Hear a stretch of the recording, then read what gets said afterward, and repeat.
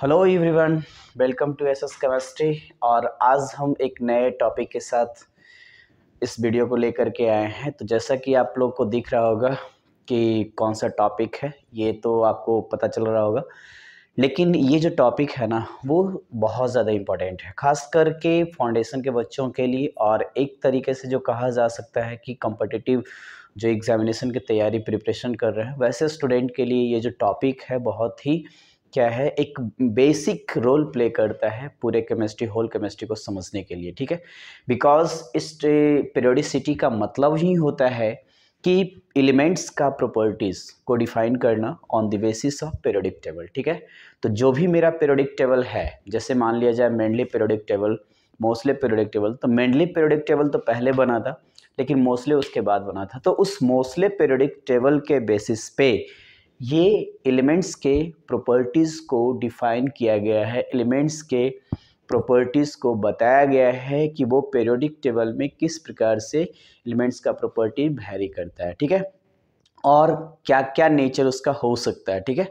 तो यदि मान लिया जाए एलिमेंट के प्रॉपर्टीज़ के बारे में हम लोग अच्छे से स्टडी कर लेंगे, अच्छे से अंडरस्टैंडिंग हो जाएगी तो उससे रिलेटेड जितने भी सारे कंपाउंड हैं तो उससे रिलेटेड कंपाउंड है तो उसके बारे में भी हम लोग अच्छे से क्या कर सकते हैं अंडरस्टैंडिंग कर सकते हैं, ठीक है?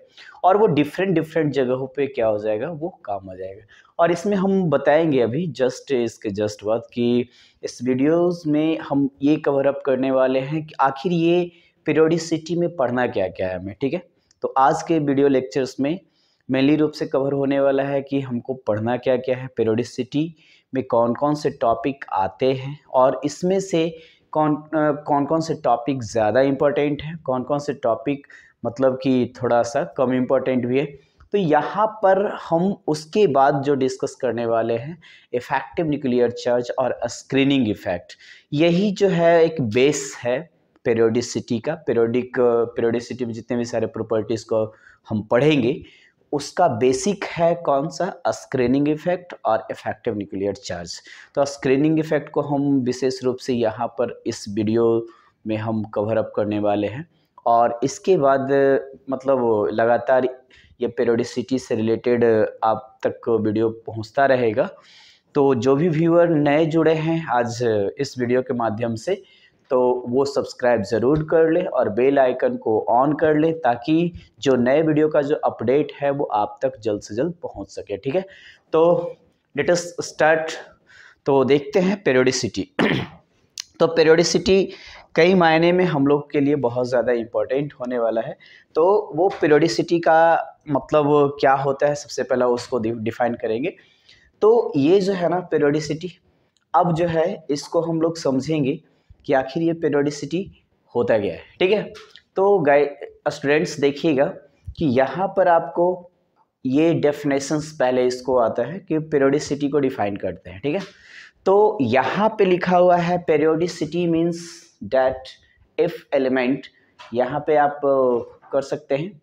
क्या हो जाएगा? पेरियोडिसिटी जो होगा, वो एक एलिमेंट इसको periodicity periodicity means that if elements मतलब पेरियोडिसिटी मतलब कि यदि elements are arranged in an order यदि एलिमेंट्स को अरेंज किया गया है किसी ऑर्डर में, एक ऑर्डर में द प्रॉपर्टीज़ ऑफ़ एलिमेंट तब इस प्रॉपर्टीज़ प्रॉपर्टीज़ ऑफ़ एलिमेंट जो होगा एलिमेंट का जो प्रॉपर्टी होगा would repeat after some periods जो पीरियड्स के बाद, कुछ पीरियड्स के बाद मतलब कुछ टाइम्स के बाद, वो रिपीट होनी चाहिए। यहाँ पर पीरियड्स का मतलब टाइम नॉट में ये पीरियडिक टेबल वाला पीरियड ये पीरियड्स के बाद रिपीट होनी चाहिए। मतलब एक बार फिर से पीरियोडिसिटी का मतलब है एलिमेंट को इस ऑर्डर में, इस क्रम में सजाना, ताकि उस एलिमेंट का जो प्रॉपर्टीज़ है वो एक डेफिनेट पीरियड्स के बाद वो रिपीट हो सके। यानी पुनः उसका क्या हो सके? आ, मतलब रिपीट का मतलब वो बार बार दोहराया जा सके ठीक है?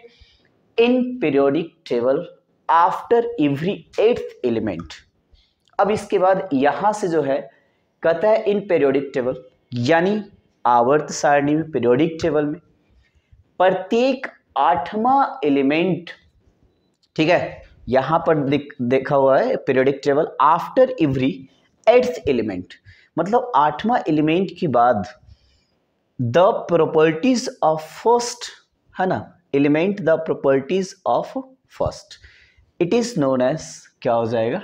पेरियोडिसिटी मतलब कहता है कि इस प्रकार से एलिमेंट को अरेंज किया जाए एक ऑर्डर में ताकि उसका जो प्रॉपर्टीज़ है एक डिफिनेट पीरियड्स के बाद वो रिपीट करें रिपीट होनी चाहिए और वो किसी पीरियोडिक टेबल में प्रत्येक आठवां एलिमेंट के बाद जो एलिमेंट आता है, वो क्या होता है? प्रॉपर्टीज़ फ़र्स्ट के जैसा रिपीट करता है। It is known as periodicity ठीक है? यानी कहने का मतलब है कि आवर्त सारणी में एलिमेंट्स को इस प्रकार से सजाया गया अरेंज किया गया कि आठवें एलिमेंट के जो बाद वाले, आठवें एलिमेंट के जो बाद नौवें स्थान पे जो एलिमेंट आते हैं, उसका जो प्रॉपर्टीज़ है, वो फ़र्स्ट एलिमेंट के जैसा रिपीट करता है। तो इसी को बोला गया पेरियोडिसिटी ठीक है? तो ये समझ में आया होगा। उसके बाद यहाँ पर है, जैसे इसको हम एक तरीके से और समझ पाएँगे। एक तरीके से और कैसे समझेंगे कि मान लिया जाए यहाँ पर ले लिए लिथियम को, ठीक है? लिथियम है बेरिलियम है बोरोन है, कार्बन है, नाइट्रोजन है, ऑक्सीजन है, नियॉन है। ठीक है? तो यहाँ पर ये जो है, ये चार तीन सात हो गया। Oxygen, sorry. Carbon, boron, nitrogen. Boron, carbon, night हाँ फ्लोरीन भी है, होगा, ठीक है? तो ये आठ एलिमेंट है। अब इसके बाद जो होगा, जैसे मान लिया जाए, इसमें आठ एलिमेंट तो लिए, अब इसके बाद जो है, हम लोग one, two, three, four, five, six, seven, eight, ये आठ एलिमेंट है। और आठ एलिमेंट के बाद जो आएगा, जैसे मान लिया नाइन नाइन्थ एलिमेंट जो आएगा, वो सोडियम आएगा, ठीक है? तो सोडियम जब आएगा ना, ये नाइन्थ पे आएगा तो इसका जो प्रॉपर्टीज़ है, वो इसके जैसा बिहेव करेगा, ठीक है? तो ये प्रत्येक आठ एलिमेंट के बाद इसका प्रॉपर्टीज़ क्या हो रहा है? रिपीट कर रहा है। इसी तरीके से एलिमेंट्स को अरेंज किया गया किसमें पेरियोडिक टेबल में। इसी को बोलते हैं पेरियोडिसिटी तो आई होप ये डेफिनेशंस समझ में आया होगा। एग्जाम्पल्स आप देख सकते हैं, ठीक है? उसके बाद है, नेक्स्ट, यदि मान लिए आगे चलते हैं एग्ज़ाम्पल में अब कहता है पेरियोडिसिटी होता गया है तो कौन कौन से पेरियोडिसिटी हैं? तो इसमें देखेंगे, सबसे फ़र्स्ट ऑफ़ ऑल जो है, वो है द स्क्रीनिंग इफ़ेक्ट और सेल्डिंग इफ़ेक्ट पीरियोडिसिटी का पहला जो टॉपिक है, वो हमारा है स्क्रीनिंग इफ़ेक्ट और सेल्डिंग इफ़ेक्ट ठीक है? दूसरा जो टॉपिक है हमारा वो है इफ़ेक्टिव न्यूक्लियर चार्ज ठीक है? तो दूसरा टॉपिक इफ़ेक्टिव न्यूक्लियर चार्ज है। उसके बाद जो है हमारा एटॉमिक रेडियस और एटॉमिक साइज़ रेडियस ज़ाहिर सी बात है रेडियस और साइज़ एक दूसरे से कोरिलेट करते हैं, इसीलिए दोनों को एक साथ रखा गया। उसके बाद नेक्स्ट जो है वो आयनिक रेडियस और आयनिक साइज़ ठीक है? उसके बाद जो है वो आपका आयनाइजेशन पोटेंशियल और क्या है? आयनाइजेशन पोटेंशियल को ही बोलते हैं, आयनाइजेशन इंथैल्पी बोलते हैं, है ना? और आयनाइजेशन इंथैल्पी को ही आयनाइजेशन एनर्जी भी कहा जाता है। यदि इसको शॉर्टकट में यदि देखेंगे तो कहता है आईपी आईई और आईई इसको भी बोल सकते हैं, ठीक है? उसके बाद है आपका इलेक्ट्रो एफिनिटी ठीक है? इलेक्ट्रो एफिनिटी ये क्या है? इलेक्ट्रॉन गेन करने की प्रोबेबिलिटी होती है। उसी को इलेक्ट्रो एफिनिटी कहा जाता है। डिटेल इस पे आएँगे तो हम बताएँगे। कि उसमें क्या होता है जो, उसके बाद लास्ट जो है, बहुत ज़्यादा इंपॉर्टेंट और हर जगह पे ये आपका अप्लीकेशन इसका होगा, ठीक है? इलेक्ट्रोनेगेटिविटी ऑर्गेनिक ले लें ठीक है ऑर्गेनिक में तो बहुत ज़्यादा यूज़ होगा इनऑर्गेनिक में भी। और फ़िज़िकल में जो हम कंपाउंड का जब तक हम प्रॉपर्टीज़ को समझ नहीं पाएँगे, उसके एक्टिविटीज़ को समझ नहीं पाएँगे, तब तक उससे रिलेटेड जितने भी सारे लॉज हैं, वो यूज़ नहीं कर कर सकते हैं। तो इलेक्ट्रोनेगेटिविटी लग ऑलमोस्ट जगह पे ये क्या होता है, अपना रोल प्ले करता है, और इसको समझना ज़रूरी है। तो इसमें देखेंगे गाइज़ कि ये कौन कौन से जो है, वो एक दूसरे से इंटर रिलेट है है ना? तो यहाँ पर देखिएगा, सबसे पहला जो है वो आपको यहाँ पर लेके गया है। ये आ, सबसे पहला आते हैं स्क्रीनिंग इफ़ेक्ट पे। तो स्क्रीनिंग इफ़ेक्ट ये एक बेस है ये सबको समझने के लिए ठीक है? Screening effect effective nuclear charge atomic radius ionic radius ionisation potential electroaffinity और इलेक्ट्रोनेगेटिविटी को समझने के लिए ये एक बेस को तैयार किया गया ठीक है? अब इसमें बताएँगे कि स्क्रीनिंग इफ़ेक्ट होता क्या है, ठीक है? उसके बाद इफ़ेक्टिव न्यूक्लियर चार्ज जो अपने आप में क्या है, ये भी कह सकते हैं कि ये सबका ये जो रिमेनिंग है, ये atomic radius ionic radius ionisation potential electroaffinity और इलेक्ट्रोनेगेटिविटी का ये क्या है बेस यदि ये दो समझ में आ गया तो डेफिनेटली ये जो चार पाँच है ना, वो नीचे का, वो इजी वे में समझ में आएगा। कोई कॉम्प्लिकेशन नहीं है। और कहीं पे रटने की ज़रूरत नहीं है। बस ये दोनों थोड़ा सा ज़्यादा केयरफुली हमको क्या करना है, समझना है और बार बार इसको प्रैक्टिस करते रहना, ठीक है?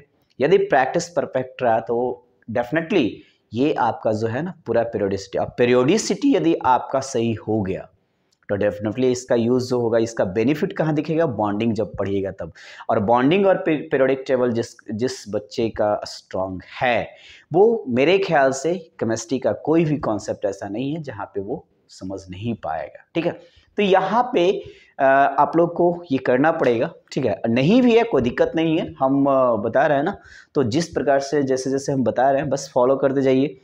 ईजी वे में केमिस्ट्री क्लियर हो जाएगा। ये इतना बिलीव रखिए हम पे, ठीक है? तो ये हो गया। अब इसको जो है, हम आगे बढ़ते हैं। तो देखते हैं आगे क्या है।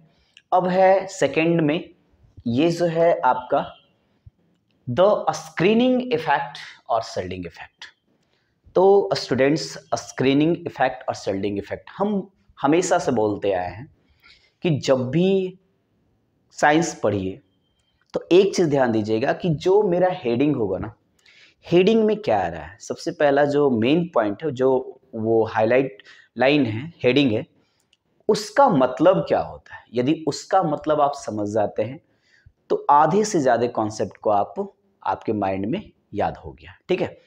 तो समझना क्या है? सब कुछ इसी पे डिपेंड करता है। तो ये स्क्रीनिंग क्या है? इसको हम समझाते हैं, समझाने का प्रयास करेंगे। तो ये जो स्क्रीनिंग का जो हम लोग नाम लेते हैं ना स्क्रीनिंग का मतलब होता है परतदार। इसको थोड़ा हिंदी में लेके चलते हैं तो लेयर लेयर वाइज ठीक है? यानी लेयर बाई लेयर जो होता है ना, उसको स्क्रीनिंग करते हैं, ठीक है? तो स्क्रीनिंग का मतलब होता है लेयर ठीक है? लेयर लेयर्स ठीक है? लेयर्स बहुत सारे लेयर्स जब एक दूसरे पे क्या हो जाएँगे कवर अप हो जाएँगे तो वो स्क्रीनिंग हो जाएगा। और यहाँ पर इसी का दूसरा नाम जो लिया है ना, वो क्या लिया है? सिल्डिंग इफ़ेक्ट सिल्ड कर देना। सिल्ड मतलब नहीं कहते हैं सिल्ड पैक मतलब बंद, ठीक है? तो बंद कर देना। तो ये जो होता है, वो क्या हो जाना क्लोज एक तरीके से कहते हैं, या फिर इसको कहते हैं कि ये क्या कर देना ब्लॉक कर देना, ठीक है? ब्लॉकिंग हो जाएगा, ये हो जाएगा ब्लॉक कर देना, ठीक है? तो ये जो है, इसका मतलब यदि आप समझ पा रहे हैं तो क्या है? आपका काम आसान हो गया। अब इसका हम डेफिनेशन देखेंगे। और इसका मतलब जो हम समझ रहे हैं, और वो डेफिनेशंस में उसको क्या करेंगे? अप्लाई करेंगे। तो डेफिनेशन हमें इजी वे में समझ में आएगा। जब जब डेफिनेशन समझ में आ गया तो समझिए आपका काम ओके हो गया। अब देखिए, इसका डेफिनेशन जो होता है, वो क्या है? In a multi electron atom इसको भी हम थोड़ा सा देख लेते हैं। मल्टी इलेक्ट्रॉन एटम क्या कहता है? मल्टी इलेक्ट्रॉन एटम होता है क्या है? ठीक है? तो यहाँ पर, in a multi electron atom, यानी वैसा एटम, जिसमें इलेक्ट्रॉन एक से ज़्यादा मल्टी इलेक्ट्रॉन बोल रहा है नॉट हाइड्रोजन हाइड्रोजन यहाँ पे नहीं आएगा। हाइड्रोजन में आप देखते हैं कि हाइड्रोजन में क्या होता है? एक इलेक्ट्रॉन होता है। तो ये मल्टी इलेक्ट्रॉन्स में नहीं आएगा। ये मल्टी इलेक्ट्रॉन्स नहीं होंगे, नहीं मल्टी इलेक्ट्रॉन एटम हाइड्रोजन नहीं होगा, ठीक है?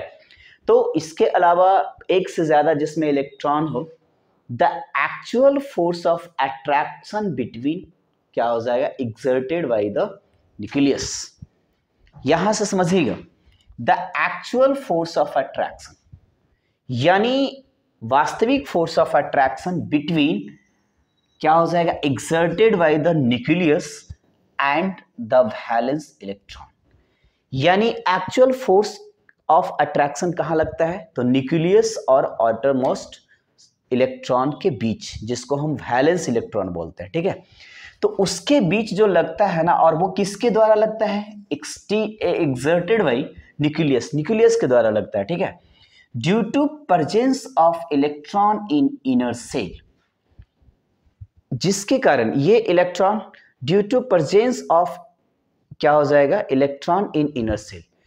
Electron inner shell में जो इलेक्ट्रॉन है, उसके कारण is called a screening effect shielding effect ठीक है? तो कहता है, यहाँ पर इलेक्ट्रॉन जो है force of attraction affected by यहाँ पर थोड़ा सा डिफरेंट हो गया कुछ मिसिंग है। In a multi electron the actual force of attraction affected by ये अफेक्टेड हो जाएगा।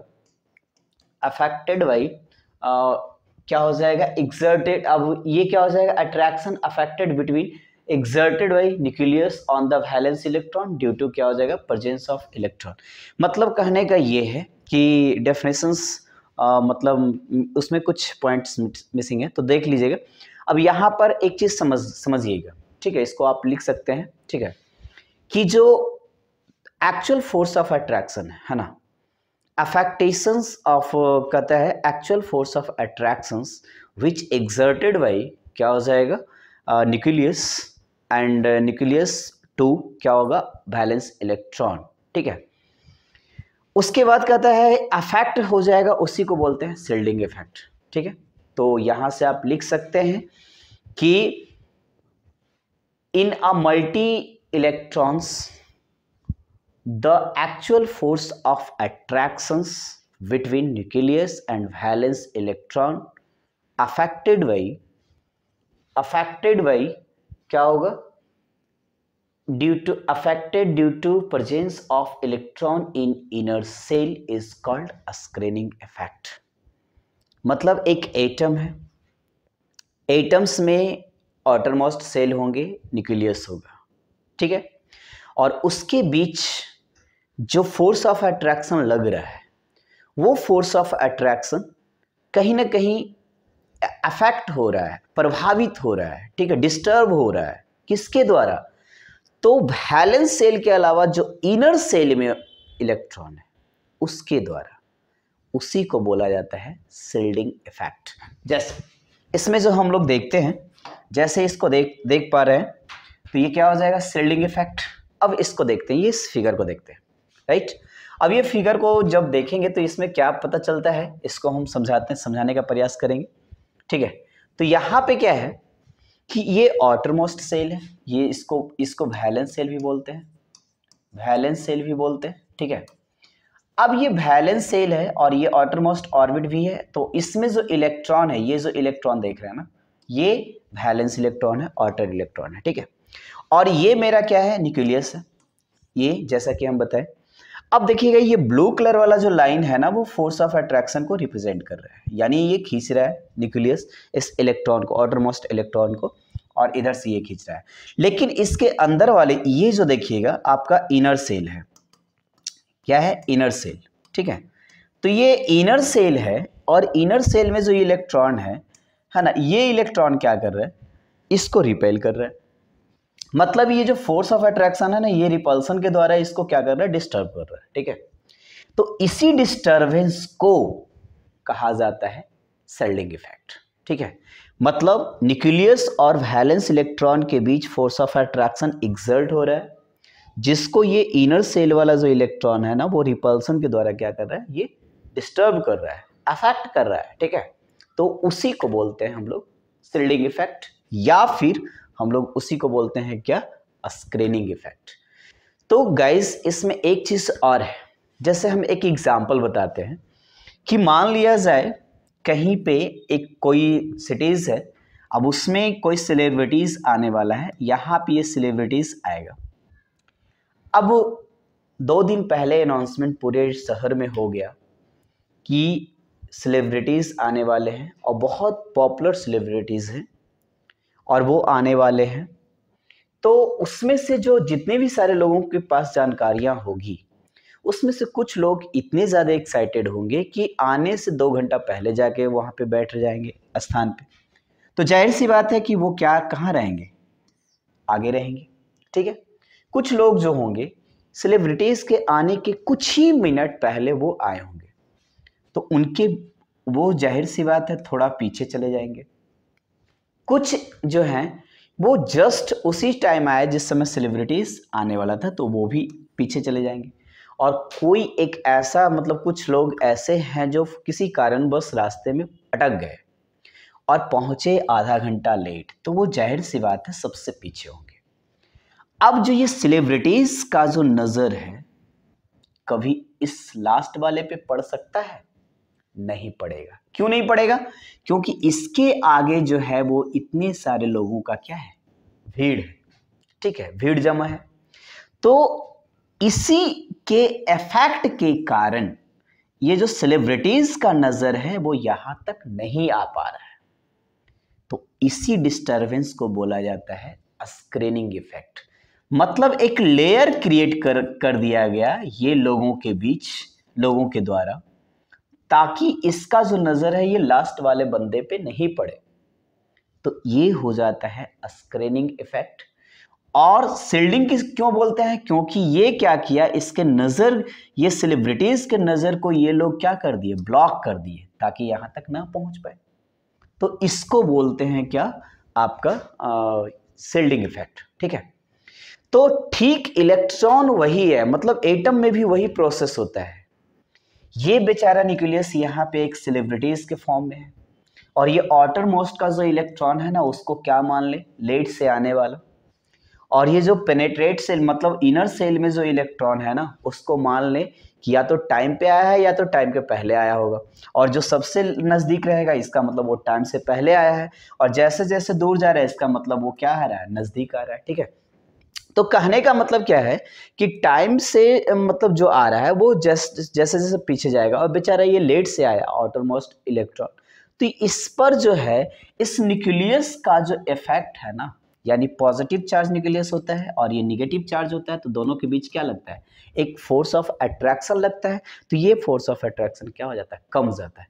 और वो फोर्स ऑफ़ अट्रैक्शन कितना कमता है, वो डिपेंड करता है कि इसके आगे, ये ऑटर सेल में जो इलेक्ट्रॉन है, उसके आगे कितना संख्या में इलेक्ट्रॉन है? मतलब इस पर नज़र, ये इस सेलिब्रिटीज़ का किस पे डिपेंड करता है कैसे नज़र पड़े? तो जितना ज़्यादा गैदरिंग होगा, उतना कम नज़र पड़ेगा, ठीक है? अब सपोज़ करते हैं कि मान लिया जाए कि यहाँ पर जो है, ये बीच वाले को हम हटा दें। ये बीच वाले को अचानक ये हम हटा दें।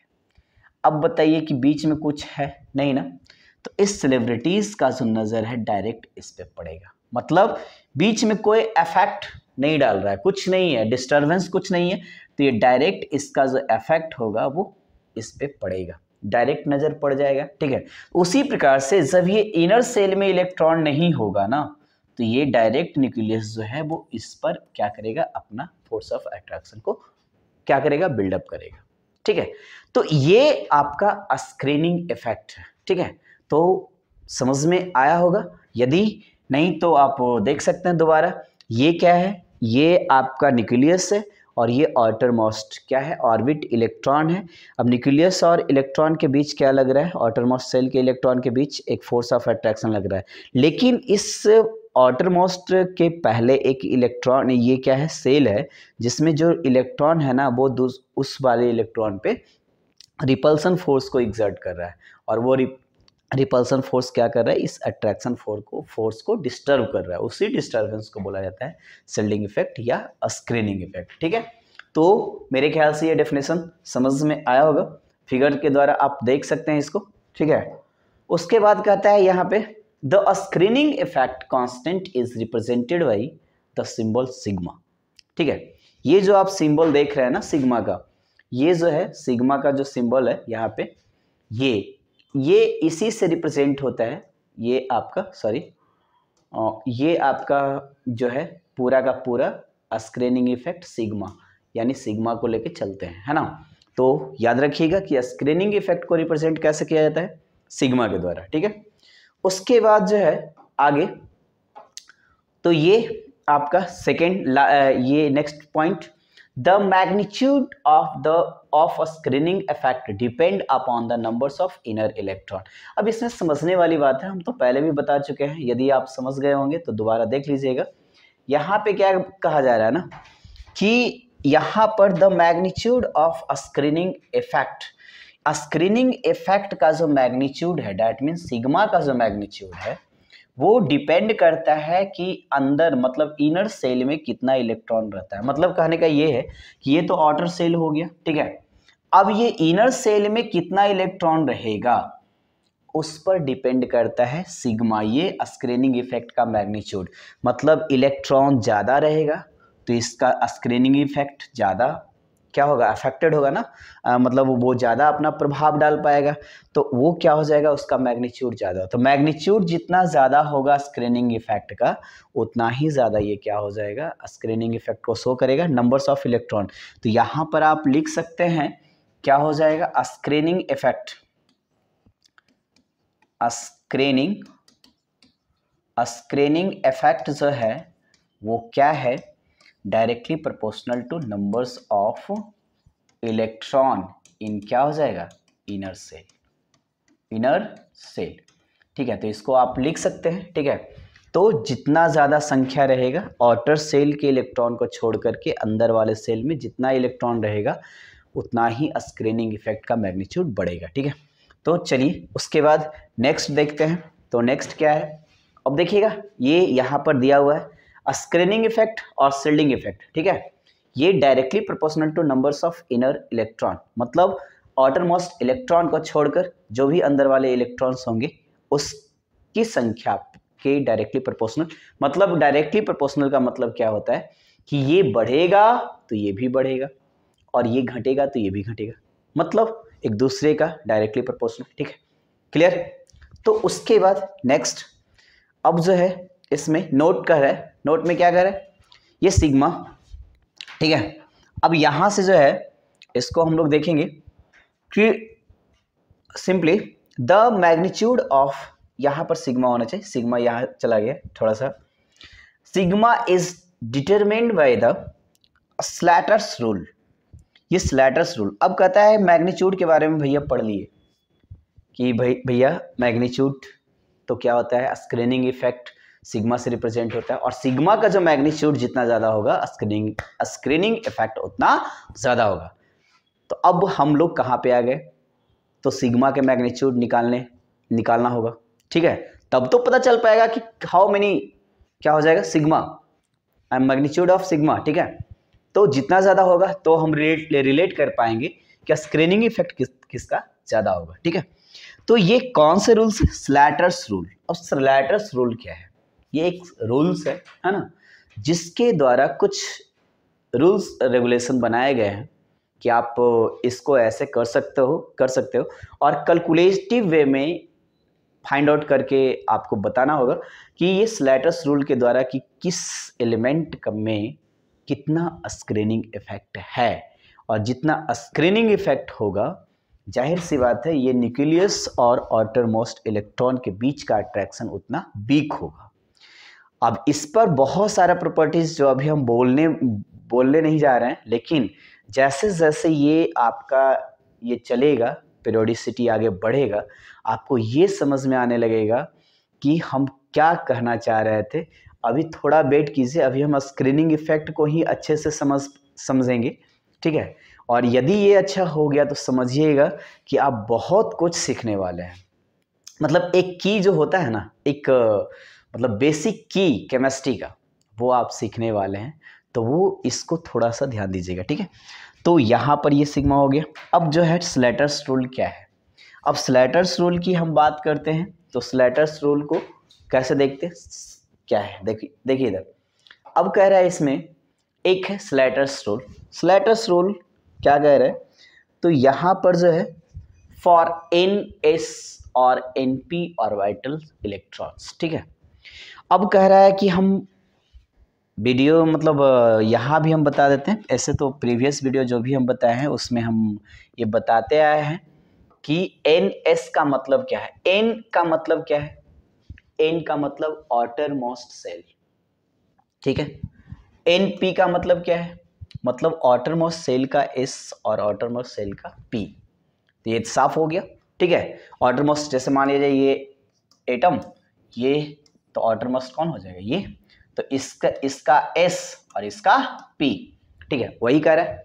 तो कह रहा है कि इस, ये दोनों में जो इलेक्ट्रॉन होंगे, उसके लिए स्क्रीनिंग इफ़ेक्ट का मैग्नीट्यूड क्या है?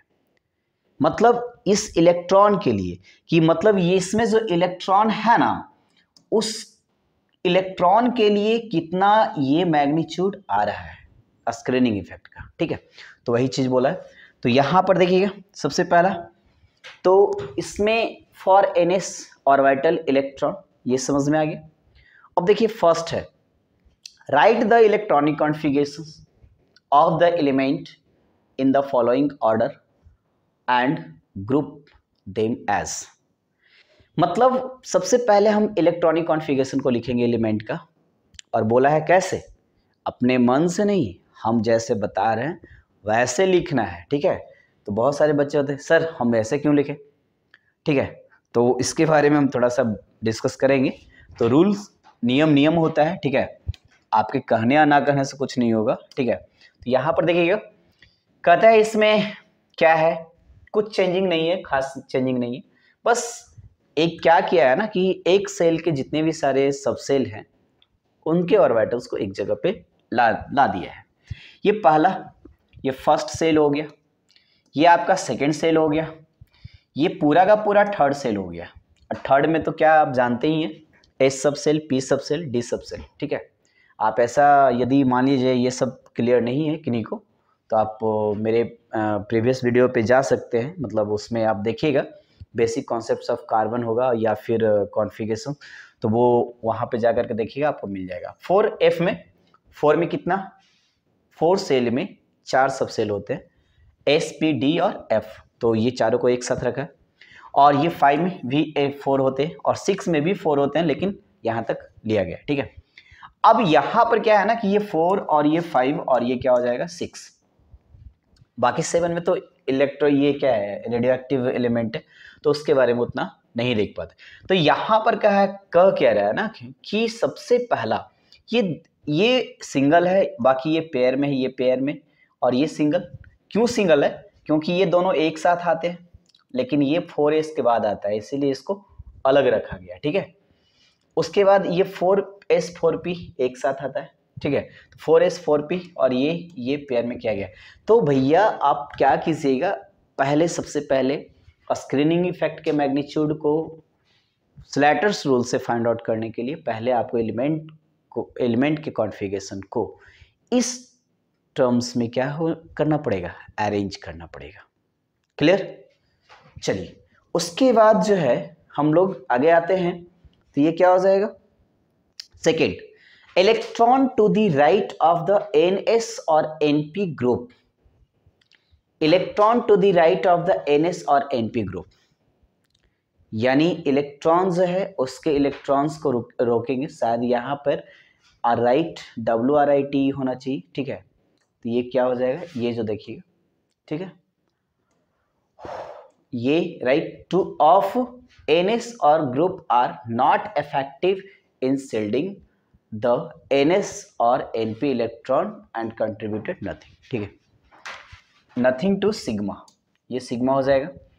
कहता है electrons to the right of the group are not effective कहता है कि ये जो एन एस और एन पी ग्रुप का जो ये क्या है? इलेक्ट्रॉन्स है है ना? बचा हुआ जो इलेक्ट्रॉन्स है group are not effective in shielding effect the n s और n p electron and contribute nothing और एन एस और एन पी इलेक्ट्रॉन क्या करता है? सिल्डिंग इफ़ेक्ट में कंट्रीब्यूट नहीं करता। कारण क्या है? देखिए, कहता है, मान लिया जाए, ये क्या है आपका न्यूक्लियस है और यहाँ पर मान लिया जाए इसमें इलेक्ट्रॉन है। अब बताइए कि जो भी है मतलब हम एक एग्जांपल जो लिए थे कि सेलिब्रिटीज़ है और ये सब लोग पहले आ चुके हैं और इसमें से कुछ दो, चार, पाँच लोग क्या आए हैं? लेट से आए हैं। तो बताइए ये पाँचों आपस में लड़ेगा क्या? नहीं लड़ेगा। क्योंकि पाँचों पाँचों जान रहा है कि प्रॉब्लम हम, हमको आगे से है। तो यहाँ पर जो किसी एक इलेक्ट्रॉन के लिए हम शिल्डिंग इफ़ेक्ट देखते हैं तो जो शेष है ना, इलेक्ट्रॉन जो जिस, इसमें जितना भी इलेक्ट्रॉन रहेगा, उसका कोई प्रभाव ही नहीं पड़ेगा इस पर कारण क्या है कि ये बहुत ज़्यादा मतलब इन्वॉल्व बहुत कम होता है और कैलकुलेटिव देखेंगे तो हमें पता चल जाएगा। ये इफ़ेक्ट हो रहा है अंदर वाले से। इससे बहुत कम डिस्टर्ब होगा, एकदम कम डिस्टर्ब होगा। सबसे ज़्यादा डिस्टर्ब होगा ये अंदर वाले से। ठीक है? तो अंदर वाला इलेक्ट्रॉन जितना बढ़ेगा, उतना क्या होगा? मैग्नीट्यूड बढ़ जाएगा। ये सब पर उतना ज़्यादा डिपेंडेबल नहीं होता है। अब देखिएगा, आगे। उसके बाद यहाँ पे बोला जा रहा है कि all others electron in the n s और n p group contribute to the extent of 0.35 अब यहाँ पर भैया देखिएगा, थोड़ा सा रूल जो है, इसमें आपको समझना पड़ेगा। ये आपको कहा जा रहा है कि यहाँ पर मान लिया जाए, कोई इलेक्ट्रॉन जैसे ये थ्री फाइव है, ठीक है? अब ये पूरा का पूरा न्यूक्लियस है और ये यहाँ पर ऑटर मोस्ट ऑर्बिट क्या कह रहा है कि all other electrons in the n s और n p group contribute to the extent of zero point three five clear मान लिया जाए इसमें पाँच इलेक्ट्रॉन है, पाँच इलेक्ट्रॉन ऑटरमोस्ट सेल में। तो हम स्क्रीनिंग इफ़ेक्ट, सील्डिंग इफ़ेक्ट, एक इलेक्ट्रॉन के रिगार्डिंग हम लोग निकालते हैं। तो इसमें बचा क्या? एक इलेक्ट्रॉन को बाहर कर दो तो चार इलेक्ट्रॉन बचा। अब चार इलेक्ट्रॉन जो है, वो सील्डिंग इफ़ेक्ट में कंट्रीब्यूट करेगा। कितना के द्वारा करेगा? 0.35 प्रत्येक इच बोल रहा है, ठीक है? यानी फोर इलेक्ट्रॉन है तो four into zero point three five कर देंगे। ये इतना कंट्रीब्यूट करेगा। ठीक है? यानी एक इलेक्ट्रॉन जो है वो ज़ीरो पॉइंट थ्री फाइव करेगा। और यदि सिंगल इलेक्ट्रॉन इसमें रहा वैलेंस सेल में तो ज़ीरो इलेक्ट्रॉन तो यहाँ पर तो कंट्रीब्यूट करेगा नहीं। लेकिन एक इलेक्ट्रॉन के अलावे इलेक्ट्रॉन रहेगा ऑटरमोस्ट सेल में तो वो करेगा, थोड़ा बहुत करेगा contribute zero point three five का। और कहता है टू दी स्क्रीनिंग कांस्टेंट यानी स्क्रीनिंग कांस्टेंट का मतलब सिग्मा ठीक है? Except for one s for which the value is क्या हो जाएगा? थ्री ज़ीरो वन एस का वैल्यू जो है वो होता है, वो थ्री ज़ीरो होता है। जैसे मान लिया जाए, कुछ भी हो, जैसे वन एस टू कर दिए तो इसमें क्या है? न्यूक्लियस है, और यहाँ पर क्या है? दो इलेक्ट्रॉन तो एक इलेक्ट्रॉन पर हम स्क्रीनिंग इफ़ेक्ट देख रहे हैं, और शेष एक इलेक्ट्रॉन जो बचा, उसके लिए क्या हो जाएगा? ज़ीरो पॉइंट थ्री ज़ीरो ये एक्सेप्शनल याद रखना है, ये याद रखना है कि सिर्फ़ और सिर्फ़ वन एस के लिए, वन एस के लिए, ठीक है, जो यूज़ होगा, वो क्या हो जाएगा? कब? जब except for one s for which the value is zero point three zero ठीक है? कब? जब हमको से उसी वन एस वन का ही किसी इलेक्ट्रॉन के रिगार्डिंग हम लोग को क्या निकालना है? इफ़ेक्टिव न्यूक्लियर स्क्रीनिंग इफ़ेक्ट को निकालना है, ठीक है? तब जाकर के जो रिमेनिंग इलेक्ट्रॉन बचेगा, उसके लिए थ्री ज़ीरो एग्ज़ाम्पल आएगा तो और भी क्लियर हो जाएगा इस बात का। ठीक है? तो देखिएगा, उसके बाद हम लोग अब यहाँ पर आ रहे हैं। All the electrons in the n minus oneth n minus oneth shell क्या होता है? बता रहे हैं। Shell is cell contribute 0.85 each to the screening constant मतलब क्या है? ये इधर देखिएगा। मतलब इसका ये है कि मान लिया जाए कि यहाँ पर जो है वो एक, वो जो है, ये ये आपका वैलेंस सेल तो वैलेंस सेल को एन से रिप्रेजेंट करते हैं। ये जो होता है एन माइनस वन होता है। ये जो होता है एन माइनस टू होता है। और ये जो होता है एन माइनस थ्री होता है। तो क्या बोल रहा है? एन माइनस वन सेल मतलब इस सेल की बात कर रहा है। जस्ट वैलेंस सेल के पहले वाले सेल का। एन माइनस वन जितना भी वैलेंस सेल होगा, यदि चार होगा तो एन माइनस वन तीन होगा। यदि दो होगा तो एन माइनस वन वन होगा, ठीक है? तो कहता है कि वैलेंस सेल के जस्ट पहले वाले सेल में कंट्रीब्यूट जो जितना भी सारा इलेक्ट्रॉन होता है, वो प्रत्येक इलेक्ट्रॉन 0.85 को कंट्रीब्यूट करता है। मतलब यदि 10 इलेक्ट्रॉन है तो 0.85 हो जाएगा। यदि पाँच है तो 0.85 हो जाएगा। मल्टीप्लाई कर देंगे इससे, ठीक है? तो ये इतना कंट्रीब्यूट करता है। तो क्या समझ लिए कि ऑटर मोस्ट सेल का जो इलेक्ट्रॉन होगा, जो एक इलेक्ट्रॉन को छोड़कर जो भी इलेक्ट्रॉन होगा, वो 0.35 कंट्रीब्यूट करेगा प्रत्येक इलेक्ट्रॉन और उसके अंदर वाले करेगा 0.85 प्रत्येक इलेक्ट्रॉन कंट्रीब्यूट करेगा। ठीक है? तो ये उसके बाद एग्ज़ाम्पल में सारा कुछ क्लियर हो जाएगा। अभी पॉइंट को समझ लीजिए। अब कहता all the electrons in the n minus two shell अभी भी हम, अभी हम बताए कि जस्ट बैलेंस सेल के पहले वाले सेल को एन माइनस वन और जस्ट बैलेंस वाले सेल को पहले सेल के पहले वाले को एन माइनस टू तो उसमें जितना इलेक्ट्रॉन होगा, वो कितना कंट्रीब्यूट करेगा? वो कंट्रीब्यूट करेगा आपका वन एक इलेक्ट्रॉन वन अब जितना इलेक्ट्रॉन रहेगा, एक वन से क्या कर देंगे? मल्टीप्लाई कर देंगे, ठीक है? तो यहाँ तक क्लियर उसके बाद हम लोग आते हैं, अब एग्ज़ाम्पल पे आएँगे, ठीक है? तो एग्ज़ाम्पल कैसे होगा? देखिए, अब कह रहा है यहाँ पर, ये तो एन एस और एन पी की बात कर रहे हैं, ठीक है? और एन ये डी जो डी है डी और एफ़ इलेक्ट्रॉन जो होगा एन नहीं एन डी नहीं एन एफ़ भी नहीं, ये अंदर वाले एफ़ की बात कर रहे हैं, ठीक है? तो इसको हम लोग समझेंगे। पहला है कि write the electronic configuration of the element in the following order and group as them as ठीक है भैया तो इसमें भी लिखना पड़ेगा। कैसे लिखना पड़ेगा? कि ये किस प्रकार से होगा तो देख लीजिएगा। इस तरीके से लिखना पड़ेगा। ठीक है, ये अभी हम जस्ट थोड़ा देर पहले हम बताए थे, कुछ देर पहले हम इसको डिस्कस किए थे। उसके बाद जो है, वो क्या है? सेकेंड में, electron to the right of the n s और n p group are not effective in shielding effect. ठीक है कह क्या रहा है कि मान लिया जाए, यहाँ पर थोड़ा सा समझने वाली बात यह है कन्फ्यूज़न नहीं होनी चाहिए। एक बार देख लीजिएगा। यहाँ पर ये क्या है? न्यूक्लियस और ये जो है आपका, ये एन सेल है और ये एन माइनस वन है। तो ज़ाहिर सी बात है डी और एफ़ जो आएगा एन और एन एन माइनस टू में ही आएगा एन का तो डी आएगा नहीं। अब इसमें क्या कह रहा है कि यदि मान लिया जाए, इसका डी ले रहे हैं वन माइनस वन का, कोई डी का इलेक्ट्रॉन है, उसका हम सेल्डिंग इफ़ेक्ट देख रहे हैं। तो बताइए कि कोई ये यहाँ पर सेलिब्रिटीज़ है और यहाँ पर आदमी खड़ा है तो पीछे वाला इसको डिस्टर्ब करेगा कभी? सेलिब्रिटीज़ को देखने में पीछे वाला कभी डिस्टर्ब करेगा? नहीं करेगा। जो भी करेगा, आगे वाला करेगा। यही कारण है कि ये वाला जो इलेक्ट्रॉन होता है, वो क्या करता है? Are not effective in shielding effect वो सील्डिंग इफ़ेक्ट में इफ़ेक्टिव नहीं होता है, ठीक है? तो सिल्डिंग इफ़ेक्ट में इफ़ेक्टिव नहीं होता है मतलब सिल्डिंग इफ़ेक्ट में पार्टिसिपेट नहीं करता है, ठीक है? तो कब? ये जब डी की बात करेंगे, यानी वैलेंस सेल डी और एफ़ जो होगा वैलेंस सेल के अंदर वाले सेल में डी और एफ़ होगा, उसके इलेक्ट्रॉन की बात करेंगे तो उसमें जो इलेक्ट्रॉन है, उसको रिलेट करेंगे, उसको इंक्लूड करेंगे और उसके अंदर वाले को इंक्लूड करेंगे, ठीक है? तो ये हो गया। यही कह रहा है ये सिग्मा उसके बाद यहाँ पर है, क्या? All other electrons in the n s और n p group contribute to the extent of zero point three five each to the screening constant except one वही चीज़ सेम पीछे वाले स्लाइड्स में आपको बताया गया।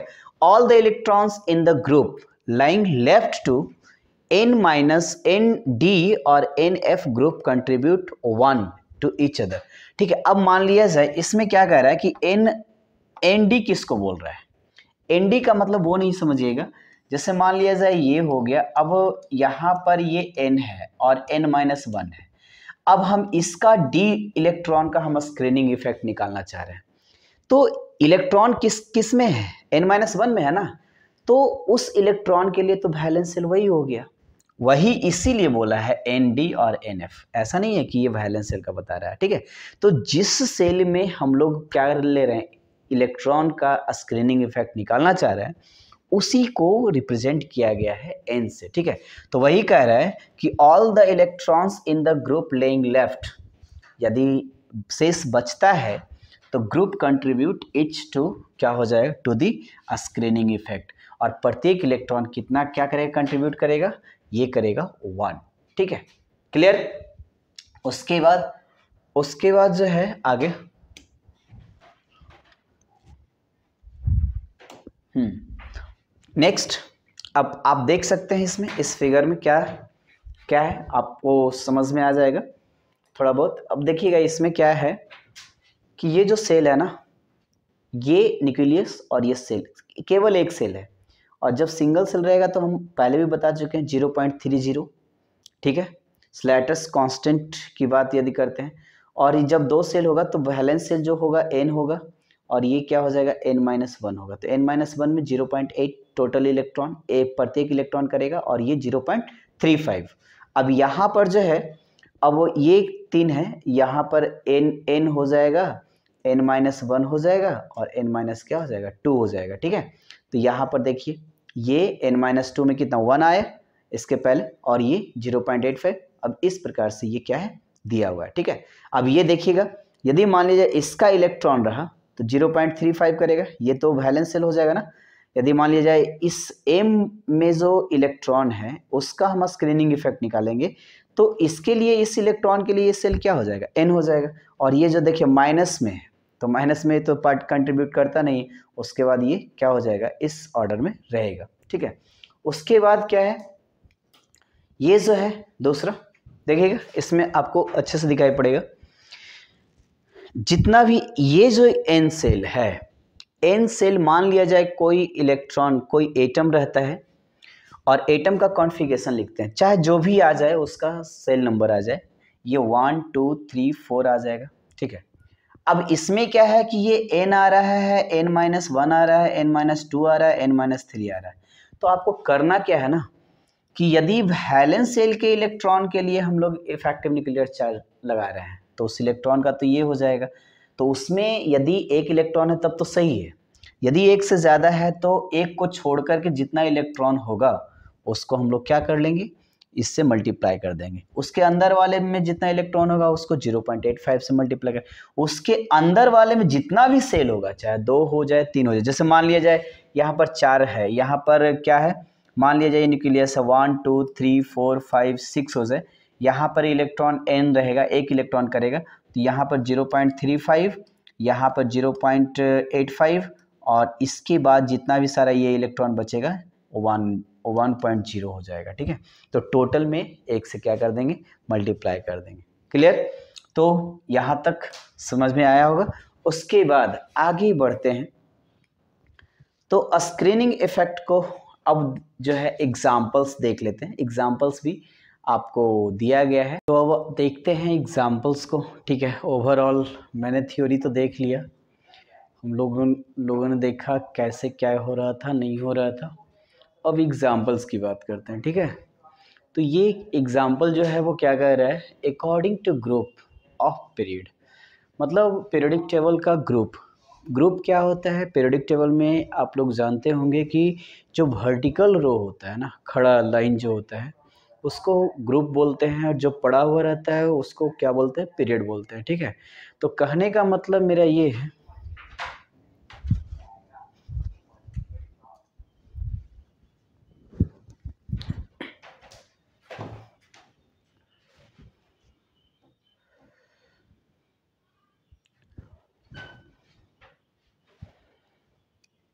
अब हम लोग देखते हैं एग्ज़ाम्पल्स को, ठीक है? तो एग्ज़ाम्पल पूरा ओवरऑल थ्योरी हम लोग देख चुके हैं, ठीक है? उसको समझ भी लिए होंगे, ठीक है? उसके बाद हम लोग एग्ज़ाम्पल देख लेते हैं तो उससे ज़्यादा क्लियरिफाई हो जाएगा। हमारा थ्योरी जो होगा, वो क्या हो जाएगा? कॉन्सेप्ट जो होगा, वो वेरीफाई हो जाएगा रिपीट हो जाएगा, ठीक है? तो कहने का मतलब मेरा ये है कि यहाँ पर एग्ज़ाम्पल जो है, आपको बताया जा रहा है तो ये एग्ज़ाम्पल अब हम लोग देखते हैं एग्जाम्पल्स को, ठीक है? कि एग्ज़ाम्पल में आखिर किस प्रकार से वो हम कैलकुलेटिव कर पाते हैं। तो एग्जाम्पल्स का जो पहला होगा, वो क्या है? According to group of periodic table according to group of periodic table का मतलब है पीरियडिक टेबल में क्या होता है? एलिमेंट जो होता है, वो अरेंज्ड होता है दो टाइप से। एक होता है हॉरिजॉन्टली लेफ़्ट टू राइट जो मतलब अर्थ सरफेस के पैरेलल हो, उसको हॉरिजॉन्टल बोलते हैं। एक वर्टिकल होता है जो परपेंडिकुलर अर्थ सरफेस का, वो क्या होता है? परपेंडिकुलर ठीक है? तो उसको हम ग्रुप बोलते हैं। तो यहाँ पर बोला है कि ग्रुप ऑफ़ पीरियडिक टेबल यानी वर्टिकल लाइन को बोला जा रहा है, ठीक है? तो वर्टिकल लाइन को बोला जा रहा है इसके अकॉर्डिंग देखेंगे हम लोग। तो ये जो हमारा एग्जाम्पल्स है है ना? अब इस एग्जाम्पल्स को हम लोग समझेंगे बारी बारी से, ठीक है? तो सबसे पहला जो है, मेरा कौन सा ग्रुप लिया गया है? ये ग्रुप नंबर क्या है? ये जो ग्रुप नंबर दिया गया है, वो आपका है कहाँ पे ये सेकंड ये, ठीक है? उसके बाद ये ग्रुप सेकंड है और ग्रुप सेकंड का ये पीरियड नंबर सेकंड है और ये थर्ड पीरियड में, ये फोर्थ पीरियड में, ये फाइव पीरियड में, ये सिक्स पीरियड में, ठीक है? इसको बोलते हैं पीडी मतलब पीरियड अब इसका कॉन्फ़िगरेशन निकालते हैं। तो यहाँ एन बराबर आप लोग देख रहे होंगे। यहाँ एन बराबर है टू यहाँ एन बराबर आ रहा है थ्री यहाँ एन बराबर फोर यहाँ एन बराबर फाइव और यहाँ एन बराबर सिक्स ठीक है? अब यहाँ पर देखेंगे कि एन में जो इलेक्ट्रॉन है, सब में क्या है? सिंगल है. ठीक है? तो इसके लिए हम लोग स्क्रीनिंग कांस्टेंट को देखेंगे। स्क्रीनिंग कांस्टेंट के मैग्नीट्यूड को फाइंड आउट करेंगे। तो ये सिंगल इलेक्ट्रॉन है तो इसमें से एक माइनस करेंगे ज़ीरो माइनस वन ज़ीरो इसमें माइनस वन बराबर ज़ीरो माइनस वन बराबर ज़ीरो माइनस वन बराबर क्या हो जाएगा ज़ीरो माइनस वन क्यों कर रहे हैं? क्योंकि उस इलेक्ट्रॉन को हम लोग हटा दे रहे हैं, जिसके रेफरेंस में हम लोग क्या, जिसके लिए हम स्क्रीनिंग कांस्टेंट को फाइंड आउट करने वाले हैं। तो ये ज़ीरो हो गया। सिर्फ़ और सिर्फ़ बचा टू। तो एन माइनस ये एन का है और ये एन माइनस वन का है। तो ये क्या हो जाएगा? टू। एन माइनस वन में ज़ीरो पॉइंट एट फाइव जैसा कि हम प्रीवियस स्लाइड्स में देख चुके हैं, ठीक है? तो वो हो जाएगा। अब ये है एन और ये एन माइनस वन और ये एन माइनस टू। तो एन माइनस वन के लिए ये आ रहा है है ना? और एन माइनस टू के लिए ये आ रहा है, वन, ठीक है? तो हम पहले भी बता चुके थे कि एन माइनस वन में ज़ीरो पॉइंट एट से मल्टीप्लाई होगा सारे इलेक्ट्रॉन में, और उसके बाद उसके अंदर जो बचेगा, वो सारा में वन से मल्टीप्लाई होगा। इसमें भी एन है, और ये क्या है? एन माइनस वन है एन माइनस टू है, और एन माइनस क्या है? थ्री है। तो यहाँ पर ये क्या हो जाएगा? इसमें तो ज़ीरो है। अब ये क्या है? ये एट एट इंटू ये जो एट है eight into zero point eight और टेन टोटल ये आठ एट और टू टेन, ठीक है? तो ये हो गया मैग्नीट्यूड उसका, ठीक है? आर बी का भी वही है, ठीक है? यहाँ पर n n minus one, n minus two, n minus three और एन माइनस क्या हो जाएगा? फोर। तो यहाँ पर देखिएगा, n n minus one, zero point eight, ये एट है ना? तो एट हो जाएगा, ये एट इसके लिए, ठीक है? तो ये एट और बाकी बचा जो ट्वेंटी एट देखिएगा, ये ट्वेंटी एट आ गया, ठीक है? तो इस तरीके से इतना आया। उसके बाद इससे उसी में तो कह क्या रहा है कि इसका जो ये आया, इस प्रकार से कैलकुलेट करके आया, ठीक है? तो वैलेंस सेल में यदि वैलेंस सेल का इलेक्ट्रॉन हम क्या कर रहे हैं, उसके लिए स्क्रीनिंग कांस्टेंट निकाल रहे हैं तो वो यदि सिंगल इलेक्ट्रॉन है तो वैलेंस सेल का तो और कोई इलेक्ट्रॉन बचा नहीं तो ज़ीरो पॉइंट थ्री फाइव का यूज़ नहीं होगा। बाकी जो रिमेनिंग बचेगा मतलब यदि बच जाता है तो उसमें ज़ीरो पॉइंट थ्री फाइव से भी मल्टीप्लाई करना पड़ता है। यदि नहीं है तो एन माइनस वन से हम लोग कंसिडर करते हुए चलेंगे, ठीक है? तो ये अकॉर्डिंग टू ग्रुप है। तो देख रहे हैं अकॉर्डिंग टू ग्रुप में क्या हो रहा है? सक्सेसिव ये इंक्रीज कर रहा है ना, और वो भी एक लार्ज डिफरेंसेस से क्या हो रहा है? इंक्रीज कर रहा है। टॉप टू बॉटम जाने पे पीरियोडिक टेबल में in a group screening constant जो है, वो क्या हो रहा है? वो इंक्रीज कर रहा है। इसको आप माइंड में रखिएगा, ठीक है आप लोग? तो यहाँ पर जो है, अब इसके बाद हम लोग आते हैं next. Example example number second type example ठीक है? According to period of periodic table period हम पहले भी बता चुके हैं पीरियड क्या होता है? तो लेफ़्ट टू राइट जब हम लोग जाते हैं पीरियडिक टेबल में हॉरिजॉन्टली ठीक है? तो ये हॉरिजॉन्टली आप लोग देखते होंगे, हालाँकि ये वर्टिकली हम अरेंज कर चुके हैं, लेकिन ये देखिएगा कि यहाँ पर ये पीरियड क्या है? इसका जो पीरियड ये जो है आपका ग्रुप अब लेफ़्ट टू राइट जाएँगे तो ये पीरियड कहलाएगा। लेकिन ग्रुप नंबर क्या होता है? बढ़ता है ना तो ये सेकेंड ग्रुप का, ये और ये थर्ड ग्रुप का, ये फोर ग्रुप का, ये फाइव ग्रुप का, ये सिक्स ग्रुप का सेवन ग्रुप का एट ग्रुप का. ये आपका क्या हो जाएगा? ग्रुप आ जाएगा, ठीक है? तो ये सेकेंड पीरियड का टोटल एलिमेंट है। देखिएगा पीरियडिक टेबल में सेकेंड पीरियड में तो ये पूरा का पूरा आपको मिल जाएगा। अब इसमें डिफरेंसेस क्या है ना कि इसमें एन का जो वैल्यू है, वो क्या है? कांस्टेंट होगा। वो ग्रुप की तरह इंक्रीज नहीं करेगा और इसीलिए इसका इफ़ेक्ट जो देखिएगा, वो किस प्रकार से आपको देख, देखने को मिलेगा, ठीक है? तो यहाँ पर जो है, वो ऑटर सेल में दो इलेक्ट्रॉन है। तो हम तो स्क्रीनिंग कांस्टेंट किसी एक इलेक्ट्रॉन के लिए ही निकाल निकाल पाएँगे। तो इसमें से जो एक इलेक्ट्रॉन को माइनस कर दें तो ये एक बचा। इसमें एक करेंगे तो दो। इसमें वन करेंगे तो थ्री, इसमें वन करेंगे तो फोर, इसमें वन करेंगे तो फाइव और इसमें वन करेंगे तो सिक्स, इसमें वन करेंगे तो क्या हो जाएगा सेवन। ठीक है तो इस तरीके से तो एन सेल में ये जो हमारा जो सेल है, वो क्या है यहाँ पे? ये जो हमारा सेल है, ठीक है? ठीक, ये हमारा एन सेल है और ये एन माइनस वन ये एन और एन माइनस वन ये एन एन माइनस वन। ये एन और एन माइनस वन। एन है, एन माइनस वन है, एन है और एन माइनस वन है और एन है और एन माइनस वन है, ठीक है? तो ये क्या हम बोल रहे हैं? एन और एन वन क्या बोल रहे हैं? ये न्यूक्लियस है। मान लिया जाए ये सेल है तो ये मान लिया जाए एन सेल लेते हैं तो ये एन माइनस वन लेंगे, ये एन माइनस टू लेंगे। एक घटाते हुए चलेंगे वैलेंस सेल को एन से। अब कहता है कि ये जो वैलेंस सेल में इलेक्ट्रॉन आ रहा है, वो कितना आ रहा है? One one into three three zero point three five और एन माइनस वन में टू टू तो ये आ गया।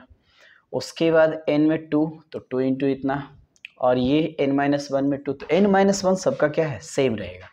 तो एन माइनस वन में सबके लिए क्या आ रहा है? सेम आ रहा है ना? बाकी एन में नंबर्स ऑफ़ इलेक्ट्रॉन इंक्रीज कर रहा है। उसके अकॉर्डिंगली क्या हो रहा है? ये आपका मैग्नीट्यूड जो है वो इंक्रीज कर रहा है। लेकिन मैग्नीट्यूड इंक्रीज करने का जो डिफरेंसेस है वो क्या है? बहुत कम है ना? मतलब वो बहुत ज़्यादा लार्जली वे में लार्जली रेशियो से ये इंक्रीज नहीं कर पा रहा है। मतलब ये एक आ, उसको बोल सकते हैं स्मूथली ये ए, कम डिफरेंसेस से ये क्या हो रहा है? इंक्रीज कर रहा है ठीक है? तो इससे हम लोग क्या समझे? कि इन ओवरऑल कि पीरियोडिक टेबल में हम या तो अकॉर्डिंगली पीरियड्स हम लोग चले लेफ़्ट टू राइट है ना? या फिर अकॉर्डिंगली हम लोग ग्रुप चले टॉप टू बॉटम ठीक है? दोनों कंडीशन में इफ़ेक्टिव सॉरी स्क्रीनिंग इफ़ेक्ट का जो मैग्नीट्यूड है, वो इंक्रीज करेगा। लेकिन डिफरेंस इतना ही है कि ग्रुप के अकॉर्डिंग चलेंगे तो डिफरेंसेस जो होगा वो मेजर होगा, बड़ा होगा, बड़ा डिफरेंस से वो क्या करेगा इंक्रीज करेगा। और अकॉर्डिंग टू पीरियड चलेंगे तो वो क्या होगा? लार्ज मतलब लेस डिफरेंसेस से वो क्या होगा? इंक्रीज करेगा। लेकिन इंक्रीज दोनों तरफ़ से चलने में होगा, ठीक है? तो ये हो गया एग्ज़ाम्पल उसके बाद कुछ और स्पेसिफिक एग्ज़ाम्पल हम लोग देखते हैं। तो स्पेसिफिक एग्ज़ाम्पल में कौन सा एग्ज़ाम्पल थोड़ा सा इससे हट करके ले लेते हैं। ये तो अकॉर्डिंग टू ग्रुप और पीरियड हो गया। अब उसके अकॉर्डिंग आप लोग देख लीजिएगा। ठीक है? अब इसमें जो है, एक हम जिंक को लेते हैं। अब इससे हम लोग समझने का प्रयास करेंगे, क्या होगा? ये जिंक वाला, है ना? तो जिंक वाला मैटर क्या है? तो वो देखिएगा। सबसे पहला इसमें जो है, ये जिंक का कॉन्फ़िगरेशन ले लिए। और जिंक का कॉन्फ़िगरेशन को हम लोग क्या करिए? जैसे कॉन्सेप्ट कहता है, वैसे हम लोग अरेंज कर दिए, ठीक है? तो जिंक में जो है, वो कॉन्फ़िगरेशन ये होता है। अब हम यहाँ पर जो लिखा हुआ है ना, फोर एस इलेक्ट्रॉन के लिए। तो जिंक में फोर में भी इलेक्ट्रॉन है, थ्री में भी है। तो हम फोर वाला इलेक्ट्रॉन के लिए स्क्रीनिंग कांस्टेंट निकालना चाह रहे हैं, ठीक है? तो इसमें दो इलेक्ट्रॉन है तो दो इलेक्ट्रॉन है तो किसी एक के लिए ही निकालेंगे। तो इसमें से एक इलेक्ट्रॉन को माइनस कर दें तो वन आ जाएगा। तो ये one into three, zero point three five आ गया। उसके बाद ये एन माइनस वन है और ये एन है और ये एन माइनस क्या हो जाएगा? टू होगा एन माइनस थ्री होगा। तो इसके बाद जो भी आता है ना एन माइनस वन के पहले जो भी आता है, उसमें वन से मल्टीप्लाई करेंगे तो वन हो गया। और ये एटीन है तो एटीन तो इस तरीके से इसका जो मैग्नीट्यूड आ रहा है ना, वो किसका? सिग्मा का। मतलब स्क्रीन कांस्टेंट का। तो वो इतना आ रहा है। अब उसके बाद d three d electron three d electron कहने का मतलब क्या है? कि मान लिया जाए ये आपका न्यूक्लियस है, और ये जो है अब इसमें फोर एस है तो डी कहाँ रहेगा? थ्री में रहेगा। Three d n minus one. Real में इसका जो ये है, एन माइनस वन सेल है। लेकिन हम इस इलेक्ट्रॉन को जब निकालेंगे तो इसमें कितना इलेक्ट्रॉन है? इसमें कितना इलेक्ट्रॉन है? दस। अब दस में किसी एक ही इलेक्ट्रॉन के लिए स्क्रीन कॉन्स्टेंट निकलेगा तो दस में से एक जाएगा तो क्या हो जाएगा? नौ। तो नौ के लिए ये क्या हो गया? ये नौ इलेक्ट्रॉन के लिए क्या हो गया? ये वर्चुअल क्या हो गया? एक आउटर सेल हो गया ना एन तो यहाँ पर 0.3 से मल्टीप्लाई हुआ। बाकी जो बचा वो क्या हो जाएगा? वन से मल्टीप्लाई अब उससे क्या हो जाएगा? ये आपका मैग्नीट्यूड निकला कितना? ये 21.15 लेकिन अब यहाँ पर देखेंगे क्या? कि दिखाई पड़ रहा है कि सेम क्या है? एलिमेंट है। ठीक है? न्यूक्लियस भी दोनों में सेम है। ठीक है? लेकिन हम जैसे ही सेल को चेंज किए इलेक्ट्रॉन के सेल को और अलग अलग सेल के इलेक्ट्रॉन के लिए हम स्क्रीनिंग कांस्टेंट देखें तो मेरा स्क्रीनिंग कांस्टेंट में क्या आ जाएगा? डिफर हो जाएगा। कारण क्या है ना कि हम ये अंदर वाले सेल को ले रहे हैं तो ये इलेक्ट्रॉन किससे डिस्टर्ब होगा? ये सबसे डिस्टर्ब होगा? इससे कोई डिस्टर्ब नहीं होगा। कारण कि हम बता रहे थे कि मान लिया जाए कोई सेलिब्रिटीज़ है और इसके आगे कुछ आदमी खड़ा है तो ये वाला ये वाला आदमी को डिस्टर्ब होगा ये सबसे? लेकिन इस वाले आदमी को डिस्टर्बेंस सिर्फ़ इससे होगा इससे नहीं होगा। इसीलिए हम इस को हम कंसिडर नहीं कर पाते हैं ठीक है? इसलिए इसका कोई इन्फॉर्मेशन यहाँ पे नहीं है और इस प्रकार से हम लोग स्क्रीनिंग कांस्टेंट के ओवरऑल कॉन्सेप्ट को हम लोग समझ पाते हैं। तो आई होप ये हेल्पफुल रहा होगा ये एग्ज़ाम्पल उसके बाद जो है आ, देखते हैं क्या लिखता है? Electron in differ orbit orbitals are different differently affected by the same nuclear charge depending upon the their proximity to the nucleus ठीक है? कहने का मतलब ये है कि यहाँ पर एक एटम्स में डिफरेंट डिफरेंट सेल में इलेक्ट्रॉन जो रहेगा, उसके लिए स्क्रीनिंग इफ़ेक्ट अलग अलग रहेगा। जैसा कि एग्ज़ाम्पल के थ्रू भी दिखाया गया, ठीक है? कि अलग अलग हो गया और डिफरेंट डिफरेंट ऑर्बिटल्स में भी रहेगा डिफरेंट डिफरेंट सेल में रहेगा तो उसका जो हमेशा क्या होगा? इसका स्क्रीनिंग इफ़ेक्ट या स्क्रीनिंग कांस्टेंट वो क्या हो जाएगा? हमेशा डिफर होगा, ठीक है?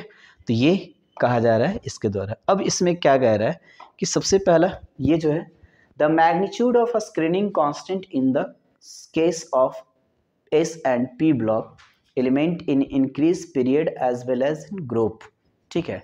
तो टॉप टू बॉटम जाने पे भी क्या होता है? एस एस और पी ब्लॉक में क्या होता है? स्क्रीनिंग कांस्टेंट बढ़ता है। पी और लेफ़्ट टू राइट जाने में भी मतलब अकॉर्डिंग टू पीरियड जाने में भी बढ़ता है अकॉर्डिंग टू ग्रुप जाने में भी क्या होता है, बढ़ता है, ठीक है? तो ये ओवरऑल क्या है? स्क्रीनिंग कांस्टेंट का देख लिए। पीरियोडिसिटी का फ़र्स्ट टॉपिक जो था स्क्रीनिंग कांस्टेंट इसके बाद का जो टॉपिक है इफ़ेक्टिव न्यूक्लियर चार्ज लेकिन बने रहिएगा हमारे इस चैनल के साथ बिकॉज़ ये जो स्क्रीनिंग इफ़ेक्ट है, वो कहीं ना कहीं बहुत ज़्यादा वाइटल रोल प्ले करेगा इफ़ेक्टिव न्यूक्लियर चार्ज को समझने में। ठीक है? तो आई होप ये अच्छे से समझ में आया होगा। और इसको प्रैक्टिस आप कर सकते हैं अपने ढंग से मतलब घर में एलिमेंट को ले करके उसका कॉन्फ़िगरेशन निकाल करके, उसका स्क्रीनिंग स्क्रीनिंग कांस्टेंट अलग अलग इलेक्ट्रॉन पे निकाल सकते हैं और उसको ऑब्जर्वेशन कर सकते हैं, ठीक है? तो वो आपका प्रैक्टिस परफेक्ट हो जाएगा और जितना अच्छे से ये कवर अप आप कर पाइएगा, आगे का जो पीरियोडिसिटी का जो टॉपिक है, उतना ही आपका अच्छा होगा, ठीक है? तो मिलते हैं एक नए वीडियो नए टॉपिक के साथ। इफ़ेक्टिव न्यूक्लियर चार्ज तब तक के लिए धन्यवाद। थैंक यू जय